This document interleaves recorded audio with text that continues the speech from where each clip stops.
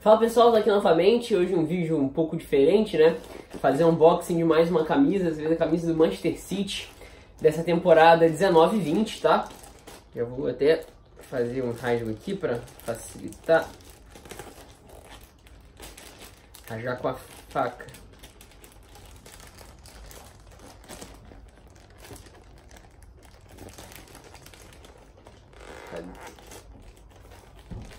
Esse aqui é um pouco perigoso.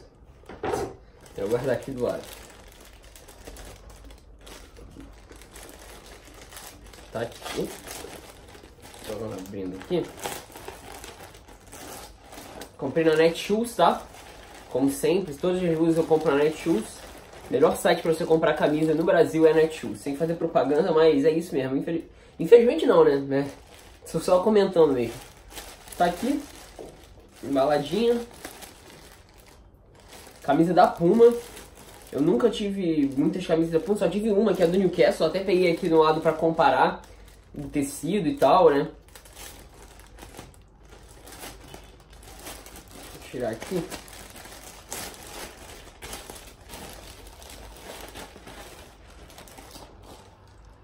A mão tá toda suja, deixa só eu lavar a mão, depois eu volto aqui. Estou de volta, já lavei a mão ficou suja com a mancha da tinta aqui da embalagem.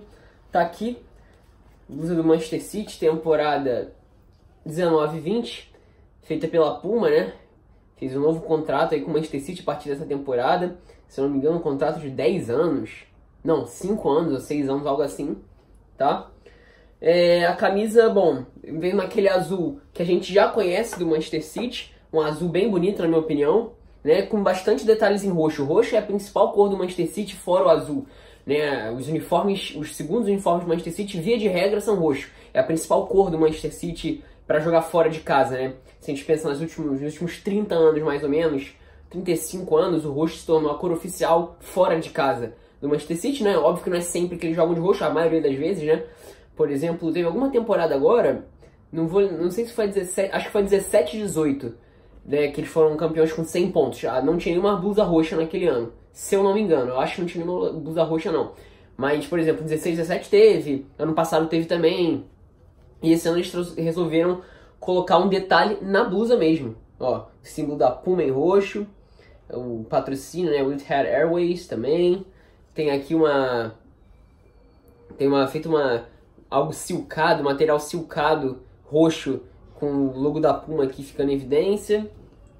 Aqui o patrocinador também está em roxo, né? O Nexen Tire, a empresa de pneus, né? O City, aqui está em branco, para vocês terem olhado. Essa aqui é a temporada passada da Nike, outra fornecedora.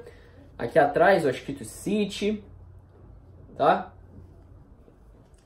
E é isso, vou vestir para vocês. Ah, tem vendo tem uma, eu, eu acho que vocês não vão conseguir ver, mas tem umas marcas d'água, tá vendo? Acho que agora tá melhor de ver na câmera, ó. Tem umas marcas d'água bem bonitas na blusa. Tá, vou vestir ela aqui para vocês verem como fica numa pessoa, né? Vestida no corpo. Aqui, ó. Ficou, ela ficou bem, bem certinha. É um caimento bem leve. Ela é uma blusa bem leve em comparação às da Adidas da Nike. Eu acho, foi uma impressão, acabei de ter, né? Sei lá, me pareceu um tecido mais fininho, um pouco mais confortável. Óbvio que como ela nunca foi usada, né? Acabei de abrir ela no início ela vai ficar um pouquinho mais larga, talvez. Então ela deve dar uma apertada depois de dar uma lavada. Ela também já é um pouquinho mais mais justinha assim, mas um, po um pouco, ela é bem curta, na verdade. Não não é muito justa não, é um pouco curta comparado com as outras blusas de futebol, algumas geralmente são mais longas, principalmente as mais recentes. Essa aqui é um pouquinho mais curta, mas é que veste bem, ó. O caimento dela no ombro, pra vocês verem. Ó, Bem bonita, bem bonita a blusa pessoalmente. Essa marca d'água ficou muito bonita. O tecido é diferente da do Newcastle, ó. A do Newcastle, ela tem um tecido... É um tecido realmente que eu nunca vi em camisa de futebol. Parece até um te... é, tecido, parece de aquelas blusas de pouca qualidade. Não vou mencionar a marca aqui, mas... Vocês não vão conseguir reparar olhando só, só vendo, usando a camisa. Deixa eu ver.